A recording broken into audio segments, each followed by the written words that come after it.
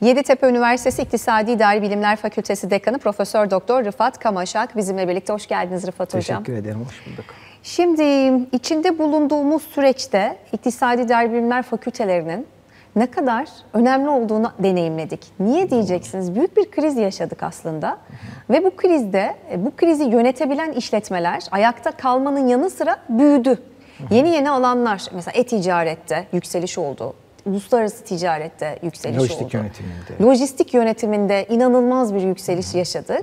E, tüm bunlar içinde yönetim becerilerinin ne kadar önemli ve etkili olduğu ve hani günceli yakalamak, adapte olmak, hızlı bir şekilde harekete geçmek için işte bu mezunların bu yeteneklerle mezun olmasının da önemini anlamış olduk. E, bence bu alanda okuyan öğrenciler için de büyük bir deneyim oldu tüm bu süreçler değil mi? Tabii, kesinlikle. Ee, aslında e, bazı bölümler konjonktürle beraber önemini biraz daha ortaya koyabiliyor. Şimdi tabii pandemiyle beraber bir sağlık sektörü tamam o tamamen bizden ayrı bir alandı. Ama sağlığın ötesinde en fazla etkilenen alanlarda ekonomi ve iş dünyası oldu. Tabii. Dolayısıyla bizim fakültemizde tamamen ekonomi ve iş dünyasına hitap eden bölümleri içerdiği için bu da bu anlamda biraz avantaj yarattı. Çok fazla bölümünüz var. 12 bölüm var fakültenizin altında. Dikkatimi çeken bazıları tarım ticareti ve işletmeciliği. Evet. Ee, gelecek tarımda hep bundan bahsediyoruz. E, Çok yaşadığımız dikkat çekiyor. zaten şu andaki kriz gösteriyor. gösteriyor herhalde bunu. Elektronik ticaret ve yönetimi e zaten söylemeye gerek yok programı öyle açtık. Ee, şimdi tercih yapacak arkadaşlar için hem bu bölümlerden hem de genel anlamda Yeditepe Üniversitesi'nde fakültenizin bakış açısından bahseder misiniz bize? Şimdi fakültemiz büyük bir fakülte. 12 tane bölüm ve bu bölümlerin e, hepsi de birbirini destekleyen bölümler. Hani ekonomi var, işletme var, siyaset bilim var. Bu arada hani siyaset bilim ve uluslararası ilişkileri de hiç e, göz ardı etmeyelim.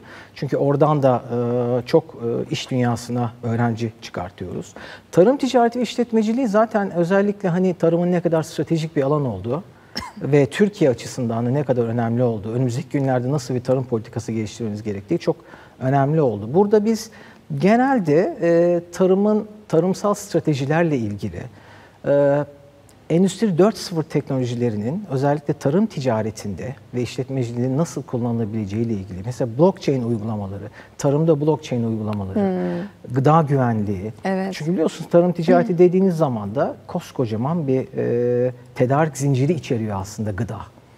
Hani bunun ilk başlangıçta toplanmasından son işte tahıl borsalarına, Tabii. Chicago tahıl borsasına gidene kadarki süreç içerisinde orada gıda güvenliği önemli, işte e, finansal kontratları önemli.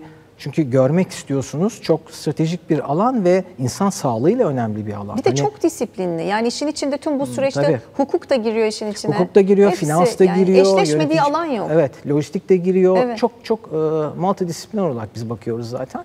Enteresan bir bölüm oldu. E, Türkiye için de çok gerekli olan bir bölüm olduğunu düşünüyoruz açıkçası. Ee, çok da yok.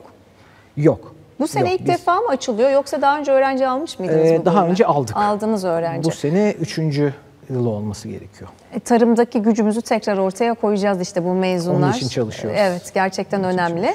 E şimdi içinde bulunduğumuz dönemden bahsettik. Ekonomik koşullar, geçtiğimiz süreç. E, olumsuz etkileri var. Onları çok sıkça konuşuyoruz. Ama bazı alanlarda da olumlu etkileri oldu.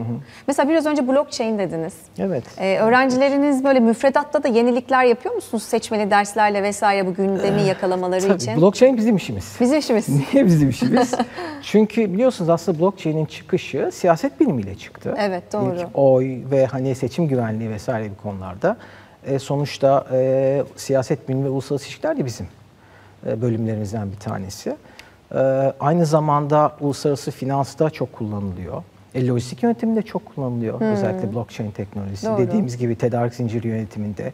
E, gıda da kullanılıyor. Dediğimiz gibi tarım ticaret işletmeciliğinde. Onun için hani blockchain zaten bizim için olmazsa olmaz bir e, entegrasyon unsuru oldu. Endüstri 4.0'ın en önemli teknolojilerinden bir tanesi. Biz de müfredatın içerisinde farklı bölümler için farklı müfredatların içerisinde mutlaka kullanıyoruz. Peki iş dünyasıyla temas mevzusuna değinin biraz. Çünkü hani tıp diyoruz hadi hastaneye girsin, mühendislik diyoruz laboratuvara girsin. İktisadi İdari Bilimler Fakültesini okuyan öğrenci iş dünyasıyla daha okurken nasıl temas eder?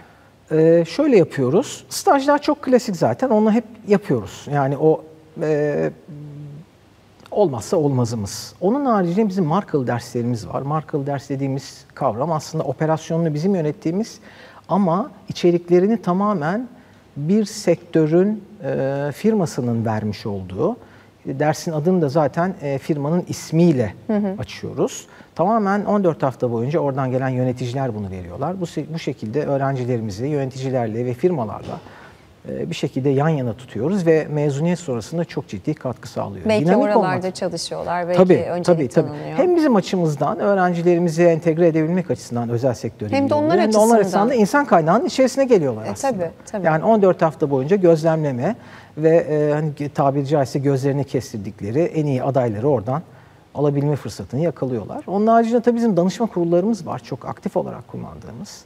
E, biz dinamik kalmak zorundayız.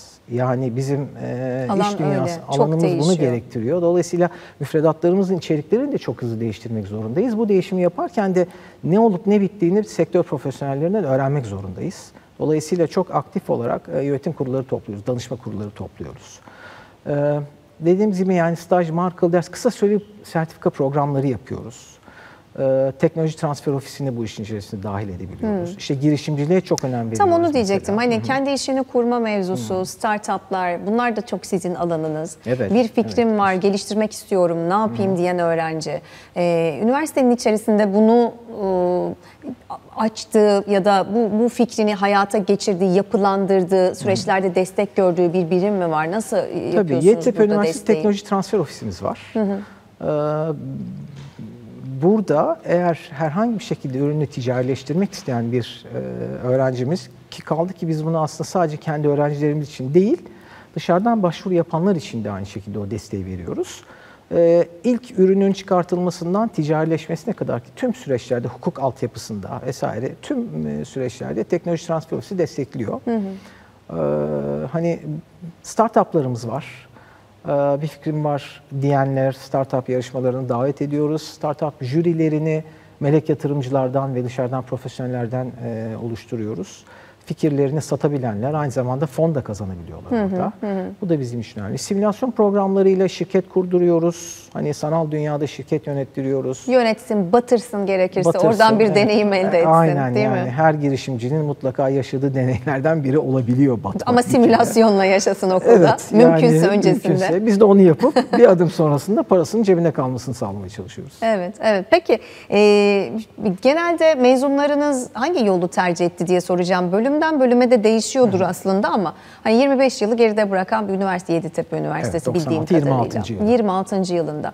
Ee, daha ağırlıklı izliyor musunuz öğrencileriniz? Nerelere gittiler? Kendi işlerini mi kurdular? Ne yaptılar? Ee, aslında profil bazen değişebiliyor. Mesela uluslararası ticaret ve işletmecilikte okuyan öğrencilerimiz biraz daha kendi ya aile şirketleri ya da e, kendileri biraz daha girişimci olarak çıkabilirken işletmeden çıkan öğrencilerimiz biraz daha profesyonel yönetici olabiliyor. Evet. Dönem dönem akademik hayata giren çok e, iyi üniversitelerden burs alıp yüksek lisans doktora yapan ve akademide başarılı olan öğrencilerimiz de var. Ama şu anki trend biraz daha girişimcilik yönünde. Anladığım kadarıyla herkes zengin olmak istiyor çok kısa yolda. ee, tabii e, bu bu kadar kolay olmuyor ama hani onun ekipte çalışacak bazen arkadaş bulamıyoruz yani hani ben bir günde bunu kazanıyorum kripto dünyasından gibi bir Evet, Hava da geliyor arkadaşlarımıza. Evet, evet 60 Zor küsur bin dolardan 20 bin dolara da düşebiliyor ama birden. Bir anda evet. Bir anda ben bugün profesörden profesörün aldığı maaştan daha fazla alıyorum diyen 17 yaşındaki bir arkadaşım dediğiniz gibi hı hı. E, bir hafta sonra değişebiliyor koşullar. Değişebiliyor. E, bunu simülasyonla işte okulda denesin. Evet, evet. Hazırlıklı Finans olsun. laboratuvarımız var. Finans laboratuvarı. E, finans laboratuvarı. Orada sanal borsa. Hı hı. E, her türlü e, finansal enstrümanı sanal ortamda oynatıyoruz e, ve e, realde çok oynatmıyoruz. Çünkü Hı. para kaybederlerse o zaman bize sorumluluk bizde olur. Dolayısıyla e, hani hisse senedi alıp satıyorlar. Kripto para dünyasında girebiliyorlar. E, Yani işin içindeler. feature. Sadece Evet. teorik olarak onları donatmak yetmiyor. Uygulamada da varlar. Peki hadi bir de uluslararası e, boyutuna bakalım. Ee, evet işin Erasmus'u var vesairesi var. Bundan farklı uluslararası dünyanın kapısını aralamak istiyorum ben. Çok önemli bu. E-ticaret diyorsunuz. Peki ne yapacağız e, üniversitede dediğiniz diye sorduğunda genç arkadaşım ne söylersiniz? Şimdi e, biz uluslararası ilişkilerimizi yurt dışındaki üniversitelerle ve şirketlerle de aynı zamanda arttırmaya başladık. Zaten artık sınır kalktığı için ve Evet. bu pandeminin de e, eğitim dünyasında aslında çok radikal bir değişiklik yaratacak. E, O da muhtemelen önümüzdeki birkaç sene içerisinde muhtemelen yavaş yavaş e, sınıf içi eğitimden çıkacağız. E, Artık çünkü ben sınıfa girdiğimde ancak YouTube'dan daha eğlenceli olmalıyım ki öğrenci beni izlesin. Tabii. Bir YouTuber artık- gibi. Aynen. Dolayısıyla Hızlı. artık biz e, tamamen sektör deneyimli olan insanları yavaş yavaş entegre etmeye başladık. Bunun içinde biz e, yurt dışıyla anlaşmalı olduğumuz şirketlerle ve üniversitelerle dönem dönem e, toplantılar düzenliyoruz. Sertifika programları yapıyoruz. Ve e, öğrencilerimizin de dışarıya çok hızlı olarak açılmaları için çaba sarf ediyoruz. Yani bu Erasmus vesaire exchange programlarının haricinde olanlardan bahsediyorum. Onlar klasik zaten hep yapılıyor. Evet. Onun ötesinde de bu çabalarımız var. Şimdi burada bir bölüm daha dikkatimi çekiyor. Biraz önce tarım, ticareti ve işletmeciliği dedik. Bu arada bunu eksik bıraktık mı emin olamadım. Bir arkadaşım diyorsa ki, hocam ben işletme okusam, eee, zaten tarım işletmeciliği alanı da biraz öğrenip giremez miyim? Çok böyle uzmanlık isteyen bir alan ya. Diyelim ki tarım ticareti işletmeciliği okudu, tarım alanında çalışmayacak. E ne olacak o diploma işletme diploması alan herhangi bir e, bir gencin elindeki diplomayla eşdeğer oluyor mu bir yandan da? Tabii oluyor. Zaten biz bu bu e, programlarda temel işletmecilik nosyonunu mutlaka veriyoruz. Tamam. Bir yöneticilik nosyonu zaten onu alıyorlar. Onun üzerine uzmanlaşarak gidiyorlar.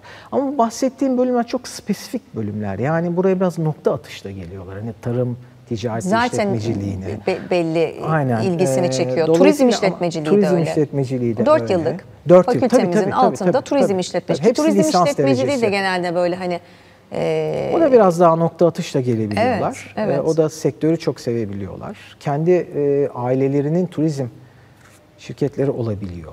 Ee, Peki ben biraz kararsızım. Tarım mı, lojistik mi, turizm mi tam emin değilim ama e, acaba genel bölümlerden şaşmasam mı diyen öğrenciye ne diyorsunuz? Genel bölüm işletme, kamu yönetimi, Yani ekonomi. çift anadal ve yan dal programlarımız çok etkin bizde. Ee, bir bölüme girdiğiniz zaman diğer bölümden de e, az sayıda ders alarak çünkü biz programlarımızı mümkün olabildiğince özellikle birinci ve ikinci yılda e, her öğrencinin alması gereken bir takım dersleri bir ve ikinci senede veriyoruz. Uzmanlaşma 3 ve 4'te başlıyor. Onun için e, uzmanlık dersleri, fark derslerini alarak öğrencilerimiz çift anadal ve yan dal programlarını çok hızlı bitirebiliyorlar. Bu da onlar için çok ciddi bir avantaj oluyor. Zaten herkes üniversite mezunu olmanın ötesinde artık biraz daha farklı bir e, bir rekabet avantajı yaratabilmek biraz daha bir yan dal ve çift anadaldan geçiyor açıkçası. Yine dikkat çeken Almanca işletme yönetimi. Mesela Fransızca'da siyasal iletişim ve uluslararası ilişkiler. Siyaset bilimi uluslararası siyaset bilimi ve uluslararası ilişkiler var. Bunlar da çok böyle ilgilisinin Ee, dikkatini çeken tabii, bölümler. Tabii bunlar zaten Türkiye'de pek olan bölümler değil. Ee, bunlar da bizim uluslararasılaşmada çok e, hani bize destek sağlayan bölümler. Ee, mesela Almanca e, işletme yönetiminin Almanya'da Kiel Üniversitesi ile bir çift diploma programı var. Hmm. İşletme bölümümüzün Amerika'da University of North Carolina Wilmington'da bir çift diploma programı var. Ee, Ekonomi bölümünün Kanada'da Huron e, Üniversitesi ile var.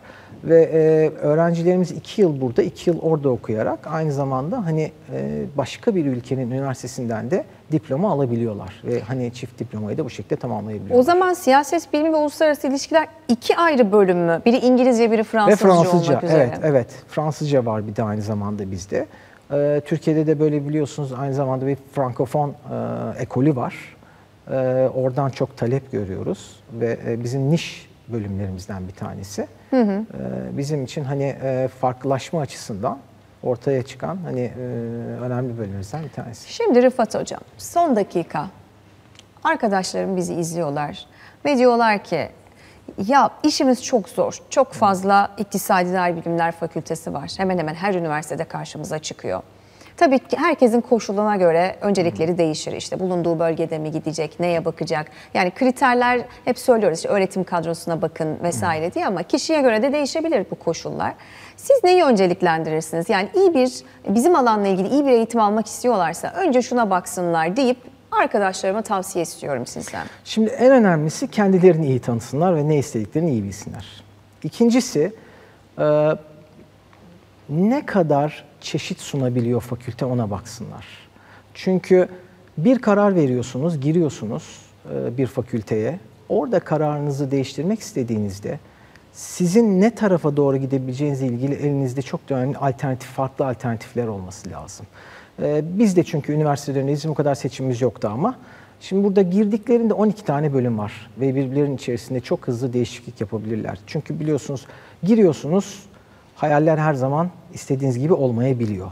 Değişiklik, değişiklik yapayım dediğinizde önünüzde ne kadar alternatif olduğu çok önemli. Çok İngilizce teşekkür olmadan ediyorum. olmuyor. Çok Ben teşekkür, ediyorum ederim. katkınız için. teşekkür Yeditepe Üniversitesi İktisadi İdari Bilimler Fakültesi Dekanı Profesör Doktor Rıfat Kamaşak bizimle birlikteydi. Bugün de programın sonuna geldik. Yarın görüşmek üzere efendim yolun başındayken de. Hoşçakalın.